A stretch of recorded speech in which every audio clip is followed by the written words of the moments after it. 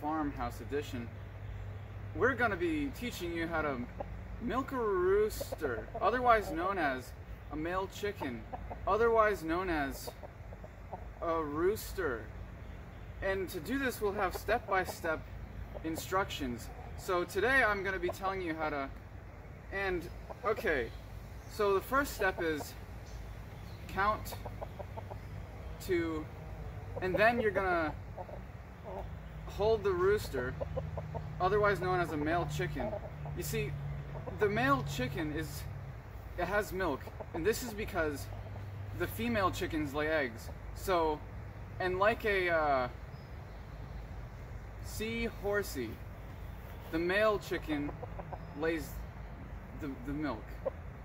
So once you have your rooster, shake him a little bit violently, but not too violently. Sort of like a tennis ball. Okay, so once you've shaken your chicken, I'll switch to, and then we'll switch to camera, the next camera, so you can, so the milk.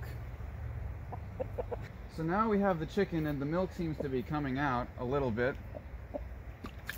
Oh, there we go.